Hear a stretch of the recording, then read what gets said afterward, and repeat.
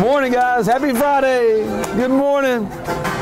As sleepy Brumby Elementary School students filed into the school on Friday morning, plans were already in motion for a special fifth grader to honor a very special teacher. As the Cobb County Phenomenal Friday Teacher of the Week. Principal Dr. Amanda Ritchie made sure the entire student body was paying attention during the morning newscast. We have a special news presentation today, so pay attention. With the help of the Chick-fil-A cow, Phenomenal Friday team leader Tyler Gwynn prompted fifth grader Javian, who made his announcement live during the school's morning announcements. As the Cobb County Phenomenal Friday Teacher of the Week. I chose my kindergarten teacher, Miss Lloyd. A drum line, and there, and there is Miss Lloyd. Congratulations, you Miss so Lloyd. much. Thank Oh, you my for the impact that you have on our children.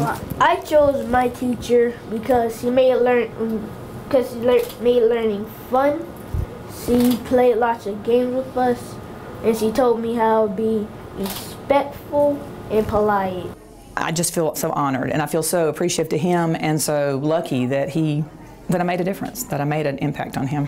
It's, it's the first time I've ever been recognized like this and it just makes me feel so good and so special to know that he chose me. Um, and I look forward to hearing about what he's going to be doing when he goes to middle school, so I know he's, he's going to do really well. Congratulations to Brumby kindergarten teacher Miss Kim Lloyd, our phenomenal Friday Teacher of the Week. For Cobb County Schools, I'm Assistant Director of Communications, Lisa Watson.